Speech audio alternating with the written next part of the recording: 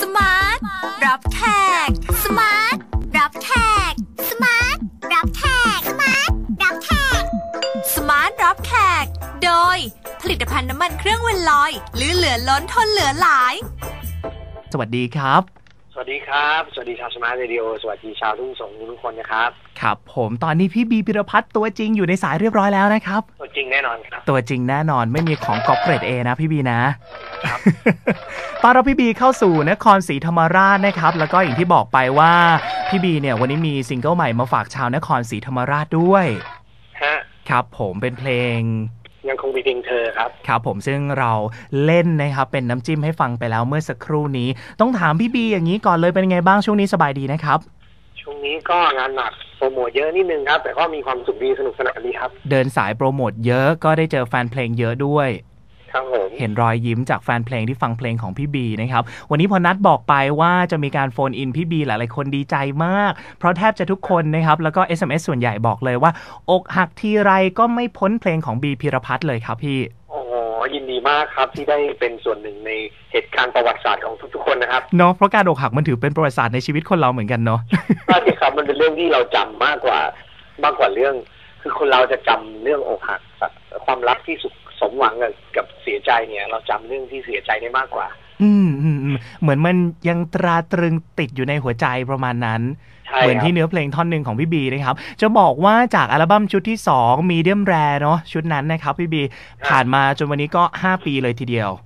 ใช่ครับ แล้วก็สำหรับซิงเกิลยังคงมีเพียงเธอที่นัทเล่นไปเมื่อสักครู่เนี่ย ถือว่าเป็นซิงเกิลใหม่ในอัลบั้มชุดที่ 3 ใช่ไหมครับใ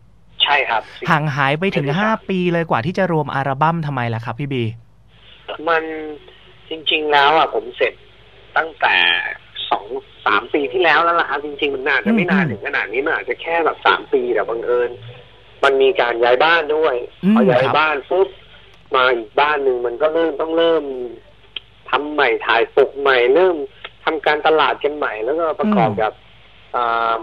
ทุกสิ่งทุกอย่างในวงการเนี่ยมันเปลี่ยนไปเร็วมากนะฮะแล้วก็ครับ การทำอัลบั้มมันเริ่มทำยากขึ้นเรื่อยๆอะครับ เพราะว่าส่วนใหญ่คือศิลปินก็มักจะปล่อยแต่ซิงเกิลออกมานะครับ ใช่ครับใช่ครับอืมครัอับนนี้ผมก็เลยก็เลยถูกถูก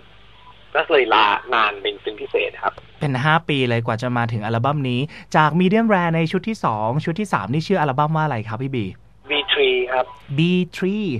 ครับผมก็คือเป็นชื่อเราแล้วก็เป็นเลข 3 ของอัลบั้มเลยป่ะครับความหมาใช่ย ก็คืออัลบั้ม เดี่ยวชุดที่สามด้วย และอีกความหมายหนึ่งก็คือ มันเป็นเหมือนวิตามิน B3 อืที่มครับผมเอ่อมีสรรพคุณที่ทำให้ทุกคนแบบว่าอ่าสุขภาพดีอะครับ มีอารมณ์ดีนะฮะครับผม ก็เหมือนเพิ่มเติมวิตามินกันเข้าไป ถ้าเกิดว่าได้อัลบั้มนี้ไปไว้ในรถเนาะใช่คปรัระบมาณนั้นสำหรับอัลบั้ม B3 เนี่ยก่อนหน้าเพลงยังคงมีเพียงเธอ เหมือนกับได้ปล่อยซิงเกิลออกมาแล้วก่อนหน้านี้ชื่อเพลงอะไรนะครับ สองสองซิงเกิลเนี่ยเป็นนะกับควันครับ อ๋อ คือ2ซิงเกิลนี้ก็จะอยู่ในอัลบั้ม B3 ด้วย ใช่ครับ คือจะบอกว่าเมื่อต้นชั่วโมงเนี่ยเล่นเพลงนะของพี่บีไป เนื้อเพลงโดนใจมาก เพราะว่าให้ออกกำลังกายกินอาหารที่มีประโยชน์เพราะไม่งั้นจะเป็นไรครับเป็นกรดไหลย้อน ไหลย้อน ผมได้ใช่ข่าวว่าใช่พี่บีเองก็เป็นกรดไหลย้อนด้วย ใช่ ผมเป็นบ่อยมากเมื่อก่อนนี้แต่ตอนนี้ผมหายครับ อ๋อ หายแล้วก็เนื่องด้วยจากว่าการดูแลตัวเองอย่างนี้ใช่ไหมครับ ถูกต้องครับ ครับก็ผมเริ่มกินอาหารให้มันทันเวลาก่อนนอน สามชั่วโมงเราต้องไม่กินอาหารอะไรอย่างเงี้ยครับอืมแล้วก็ครับผมออกกำลังกายด้วยครับ โอเคคือผู้ฟังผมปรึกษาถูกคนแล้ว ผมเพิ่งจะมีอาการกลับมาอีกครั้งหนึ่งเพราะด้วยความที่พอเราหายปุ๊บ เราก็กลับมาใช้ชีวิตเหมือนเดิมกินอืมแล้วก็นอนอะไรอย่างเงี้ยครับ พี่ช่วงนี้ก็เลยเริ่มมีอาการนิดๆหน่อยคือ กดไหลย้อนเป็นอาการที่เกิดจากพฤติกรรมครับๆล้วนๆเลยครับ ไม่มียาอะไรรักษาด้วยต้องเปลี่ยนพฤติกรรมอย่างเดียวเลยเนาะพี่ถ้าบีไม่เปลี่ยเนาะนพฤติกรรมเราก็จะเป็นเหมือนเดิมครับไม่มีทางหายครับใช่แล้วครับ โอ้โห ผมได้กำลังใจดีๆ มาก ถ้านอกเหนือจากการทำหน้าที่ดีเจวันนี้นะครับ ขอนอกเรื่องนิดนึงผมเนี่ยเป็นติ่งพี่บีตั้งแต่สมัยเรียนเลยนะ ทุกเพลงในทุกชีวิตขอบคุณมากครับวันนี้เลยแบบแอบโม้กับคนฟังว่าเดี๋ยวผมจะได้คุยกับไอดอลผมละอืมกลับมาที่อัลบั้ม B3 กันต่อครับ พี่บีมาจนถึงซิงเกิลที่ 3 ยังคงมีเพียงเธอ เพลงนี้มันเป็นเพลงช้าๆ ในสไตล์ของบีพิรพัฒน์แต่ว่ามันก็แอบจะมีจังหวะให้โยกได้เหมือนกันนะครับ นัทว่า ใช่ฮะ ใช่ฮะ ก็จะเป็นจังหวะแบบ groove groove นิดนึงมีความ มีความแบบว่าโยนโยนๆหน่อยอย่างเงี้ยครับ ครับ คือจะว่าไปแล้วเนี่ยยังคงมีเพียงเธอ หรือว่าก่อนหน้านี้นะ หรือว่าเพลงควันเนี่ย เรามีคอนเซปต์ของอัลบั้มนี้ยังไงบ้างอะครับ พี่บีคอนคอนเซปต์อัลบั้มนี้เนี่ย เอาที่ดนตรีก่อนงานดนตรีเนี่ยผม ผมกลับมาที่จุดเริ่มต้นเลย อืมครับ ผมกลับไปร้องเพลงกลางคืนนะฮะตอนผมร้องเพลงกลางคืนเนี่ย ผมได้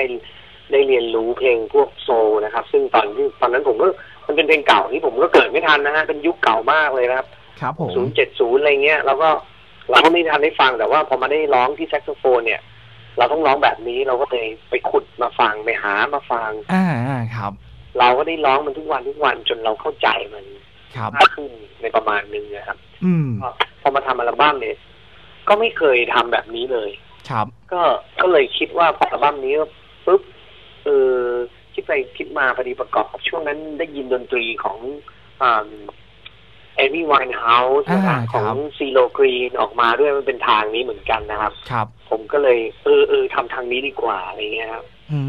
มเราเราไม่เคยทำเลยอย่างเงี้ยครับ ครับ เหมือนกับอัลบั้มเนี้ยกลับไปสู่จุดเริ่มต้นอีกครั้งหนึ่งอย่างนั้นหรือเปล่าครับพี่ ใช่ฮะ ประมาณนั้นครับครับผม อันนี้พูดถึงคอนเซปต์ของอัลบั้มมาเจาะจงกันที่เนื้อหาเพลงกันมากดีกว่า ยังคงมีเพียงเธอเกี่ยวกับอะไรยังไงอะครับพี่บี ยังคงมีเพียงเธอเกี่ยวกับเธอไงฮะมีเพียงเธออย่างเดียวเลย อืมคือเหมือนกับว่ามันยังติดอยู่ในหัวเวีๆางเงี้มันยังติดอยู่ในหัวตลอดเวลามีมีฮะมันยังติดอยู่ในหัวเราตลอดเวลาอย่างเงี้ยเหรอครับ ลืมไม่ได้สักทีในประใจมาณนั้อะนใช่ครับมันเหมือนแบบเราก็ไม่รู้ตัวด้วยนะฮะในในเหมือนกับคนที่แบบ มีชีวิตอยู่ไปวันๆแล้วก็ ไม่ยอมก้าวไปข้างหน้าสักทีแล้วก็ไม่รู้ตัวด้วยว่าเป็นเพราะอะไรอย่างเงี้ยครับผม เพลงเนี้ยจนอ่าส่วได้นมาเจอคนคนที่เป็นสาเหตุถึงรู้ว่าอ๋อเป็นเพราะเราไม่ลืมคนนี้นี่เองเนี่ยอ๋อ จริง ๆ เพลงเนี้ยส่วนตัวผมนะ ผมฟังแล้วผมมีความรู้สึกว่าเหมือน เหมือนมันจะนึกกลับไปคล้าย ๆ กับเพลงรู้เลยนะครับพี่บี คือเรารู้สาเหตุแต่เราทำไม่ได้สักทีหนึ่งเราลืมเขาไม่ได้สักทีหนึ่งประมาณนั้นไหมครับอ๋อเหรอฮะใช่ก็รู้รู้ก็จะเป็นแบบ รู้ก็จะเป็นอีกฟีลหนึ่งเหมือนกับเอ่อ บอกเลิกกัน แล้วก็อืมตอนเลิกบอกให้บอกให้เราเลิกเนี่ยเราก็เรารู้เราเข้าใจทุกสิ่งทุกอย่าง แต่มันทำไม่ได้อะอืมอืมอืมใจมันไม่ตัดอย่างเงี้ย แต่ว่าไอ้อย่างยังคงมีเพียงเธอเนี่ยมันเหมือนตัดไปแล้วด้วยนะอ่าจบไปนานละแต่จริงๆมันไม่จบไงแบบแยกกันไปหลาย ๆ ปีแล้วอย่างเงี้ยแล้วยังแต่มันยังไม่ลืมสักทีอะครับผม อืม ผมว่ามันมีความคล้าย ๆ กันกับเพลงนาฬิกาอยู่ด้วยอะไรอืเงี้ยมครับ แล้วในส่วนของเพลงนี้นะครับเอ่อพี่บีเรียบเรียงเองถูกไหมครับเรียบเรียงเองครับ ใช่ครับอืมครับ ผมมีคุณปามาพันธ์เป็นคุณป้ามาช่วยผมเรียบเรียงอืมแล้วก็คุณต๋อง The Begins มาช่วยผมทำคอรัสนะครับอืมแล้วคก็รับเครื่องเป่านี้ก็ได้ทีมเป่าจาก Soul After Six ครับครับผม มีน้องๆคนฟังครับที่กำลังฟังอยู่ตอนนี้ พี่บีมเคยมานครศรีธรรมราชบ้างหรือเปล่าคะ อันนี้เป็นคำถามที่ฝากมา อะไรนะครับขออีกทีนะฮะเอ่อน้องเขาถามมาว่าพี่บีเนี่ยเคยมานครศรีธรรมราชบ้างหรือเปล่าครับ ผมเคยไปหนึ่งครั้งครับที่อ๋อขนอมอ่าที่เป็นงานเทศกาลดนตรีไหมครับ ไอ้เฟสติวัลขนอมเฟสนะไปแล้วสนุกมากเลยอ่าอยากไปอีกนะฮะเดี๋ยวถ้ามีโอกาส แต่ไม่มีสักที ถ้ามีโอกาสปีหน้าต้องมาเลย เพราะว่าโอ้ยปีต้องไปนี้แน่ฮะเพราะว่าปีนี้พวกเราเพิ่งจะไปสนุกกับพี่บูรินทร์พี่ป๊อตกันมา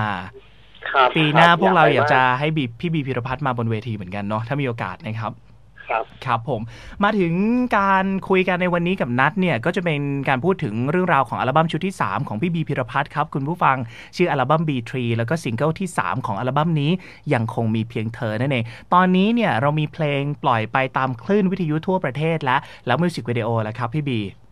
มิวสิกวิดีโอเนี่ยอยากให้ทุกคนเข้ามา subscribe นะครับ ที่ LOVEiS Channel ใน YouTube นะฮะ ครับผม แล้วก็กดฟังเพลงยังคงมีเพียงเธอ แล้วก็เข้ามาคอมเมนต์ได้เลยว่า อยากฟังแบบ อยากฟังเพลงนี้เอออยากดู MV เพลงนี้แบบไหน อยากให้ใครเล่นมอยากให้ครับเรื่องราวเป็นยังไง มีเรื่องราวของตัวเองอยากนำเสนอหรือเปล่าอ่าอ่าอ่าอ่าอ่าคอมเมนต์กันมาเยอะๆแล้วเดี๋ยวเราจะเอามาลองพิจารณาดูอีกทีว่าจะทำไงดี แสดงว่า